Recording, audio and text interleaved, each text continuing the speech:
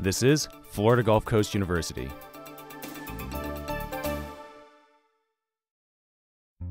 Hi, everybody. My name is Dion Jones. I want to thank you all for coming out to our FGCU Earth Day. The theme for this year's Earth Day was innovation, shifting passion that we have as individuals towards creating something for the greater good. My name is Jason Chang. I'm the founder of Truly Organic Pizza. We are the very first USDA certified organic pizzeria in the nation. I started Truly Organic Pizza just over a year ago. I have a five year old and a three year old, and at the time they were like three and a half and one and a half. All they would like to eat are junk foods. So it's very difficult for them to eat anything that's healthy.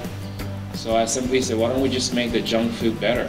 We're literally eating ourselves to death with the chemicals, with the saturated fats. And I'm just trying to come up with another solution for folks that may want a fast food that's pleasing to, the, to their children. Hello and welcome. Thank you for coming out to the Eco Art Fashion Show.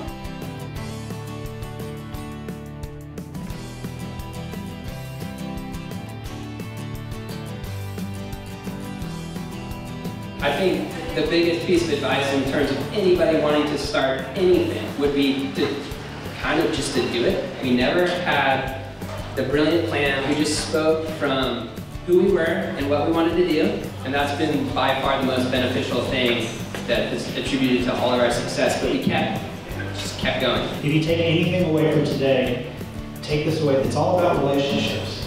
Everything in the end is about relationships. Doesn't matter what your major is, doesn't matter what you want to work on.